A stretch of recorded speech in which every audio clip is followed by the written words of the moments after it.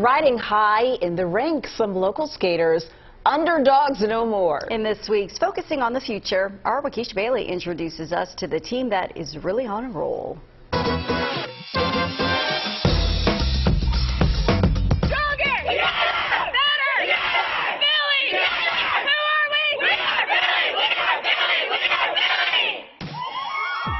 The Philly Roller Derby Juniors, a tough team playing a tough sport. And to be in this club, it comes with quirky names.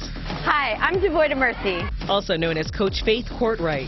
Hi, I'm Coach Teflon Donna. That's her derby name.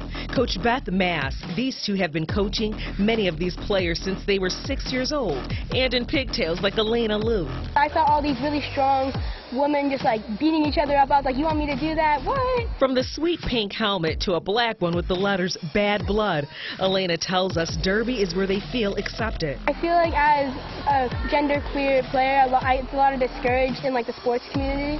So I feel like here I can be strong and I get to play with everyone. I get to play with people from different like ethnicities, different ages, different genders. Like it's all open and I really appreciate that because like no one's excluded. Derby has a place for everybody and everybody has a place in Derby. In this high contact sport that's mostly played and run by females, males play a different role, like fighter Ty who started as a referee watching his sisters play. At only eight years old, he was the first wave of boys to skate for Philly Roller Derby Juniors.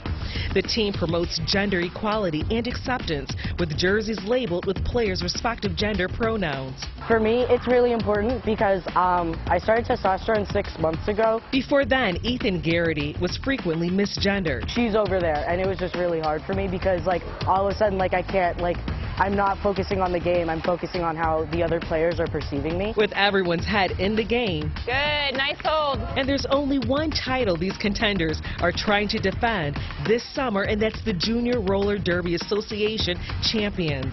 Now that we've had that championship title, it's a little nerve-wracking because we feel like we've got a giant bullseye on us and that everybody's coming to beat Philly. With this all-star lineup of some of the best athletes in roller derby, we are already looking at winners. You might not be the fastest, you might not be the strongest. As quirky or as interesting as we all are as human beings, it works great here. Wakisha Bailey, CBS News, Philadelphia. Wow, boy, are they strong. There are so many outstanding young people who deserve special recognition. You can head over to cbsphiladelphia.com if you'd like to tell us about somebody who you think deserves a special shout out. Those derby names are hilarious. They are, and it's no joke. I have a friend who plays on a derby team, and she always has bruises all over her body. It's, it's it is intense. Totally intense. Yeah, we yeah. have to come up with our own derby names, though. We'll have to I'll start work brainstorming. On it. Work on it. It's a good workout, though.